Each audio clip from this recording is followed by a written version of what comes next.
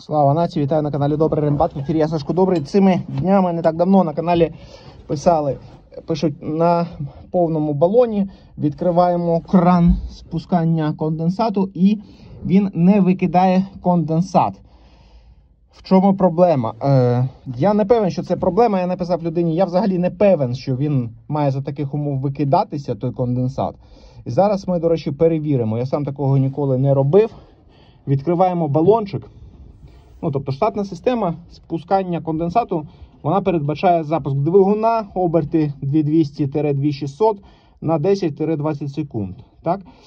Е, А подивимось, от, відкрив балончик.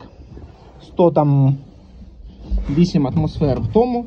Ну, їх вистачить, щоб спрацювати. Так? І відповідно порвав штанину. А ну, слухаємо, дивимось, чи викине, чи ні.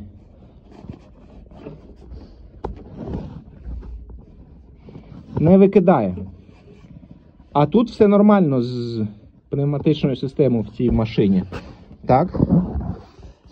Окрім того, що редуктори пускали. Е, Який ми робимо висновок? Ми робимо висновок, що в системі якийсь клапан. Я підозрюю, що це в районі вологомасловідділювача. Там є така трубочка до е, повстяного фільтра повітря. Там в трубочці йде невеличкий клапан перепускний, так, що перепускає в один бік.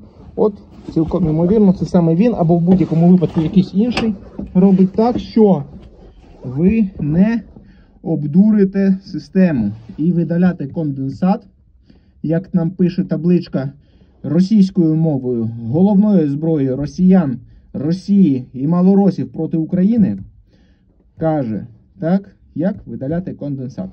І обхитрити систему і спустити балон таким чином вам не вдасться. От зараз ми це встановили дослідним шляхом. Майте на увазі і працюєте належним чином.